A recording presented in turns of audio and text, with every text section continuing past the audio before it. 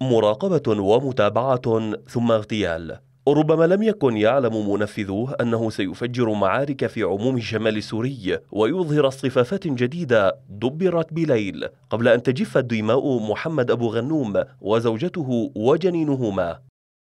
المعارك العنيفة وتقدم هيئة تحرير الشام في ريف حلب مع مواجهة الفيلق الثالث لها لم تطغى على صوت السوريين الذي علا يوما بعد آخر ليؤكد أن الثورة حية.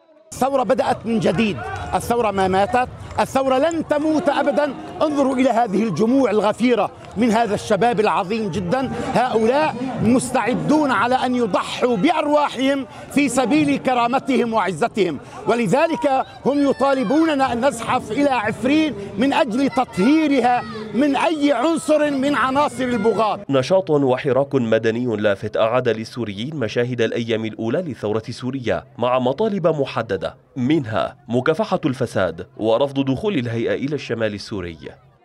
من مدينة الباب إلى مارع إلى عزاز إلى صوران إلى جرابلس. انتفض الشعب في المناطق المحررة لهدف واحد إخراج هيئة تحرير الشام من المناطق المحررة والتصدي لعدوانها بهذه المناطق. ومع الهدوء النسبي وتوقف المعارك تتجه العيون مجددا إلى مطالب الشارع الثوري وأولها محاسبة المتهمين بقتل أبو غنوم وزوجته الذين اعترفت فرقة الحمزة بانتمائهم لها. قبل أن تنضم للهيئة في حربها على الفيلق الثالث الذي أعطى دعمه للشرطة العسكرية لإيقافهم ومحاسبتهم.